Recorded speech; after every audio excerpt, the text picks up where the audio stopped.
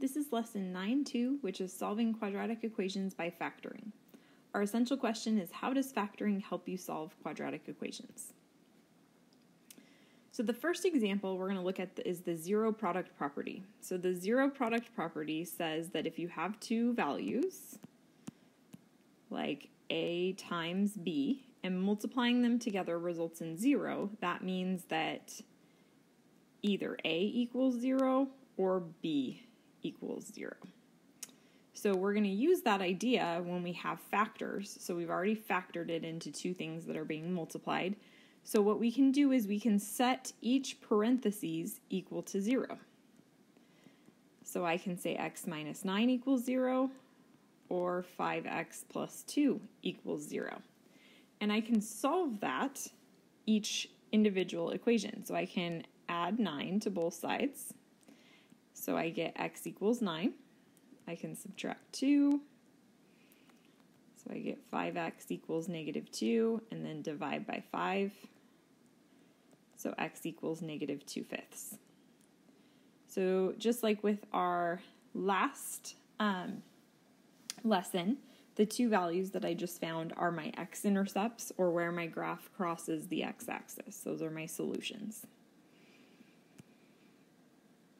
So then the next one is how can I use factoring to solve? So the first thing I need to do is I need to make sure always that it's all on the same side of the equation. So I'm going to rewrite this as x squared plus 9x, and then I'm going to add 20 to both sides. So this would be plus 20 equals 0.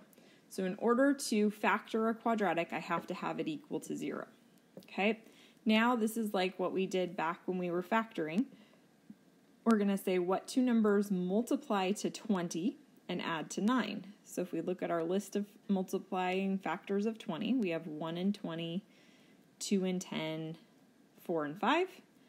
4 and 5 add up to 9. So we can say x plus 4 times x plus 5 equals 0.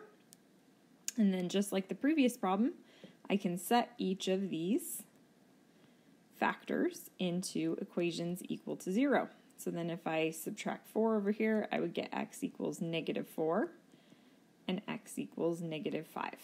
So those would be my two solutions, the two spots where this graph crosses the x-axis. Okay, and my last example here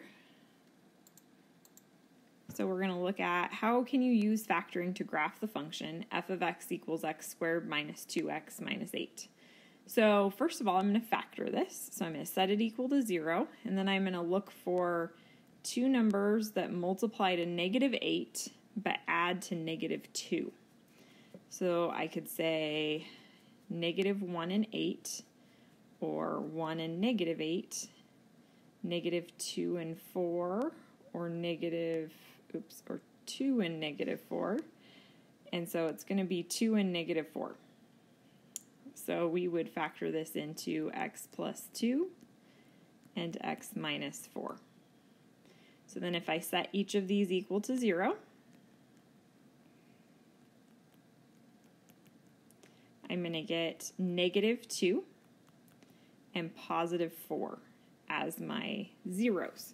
So what that means is if I go to the graph, I can plot a point at negative 2, and I can plot a point at 4 on the x-axis. So that gives me two points for my graph. Then if we go back to some of our previous lessons, I know I can find the vertex using negative b over 2a. So that would be negative negative 2 over 2 times 1.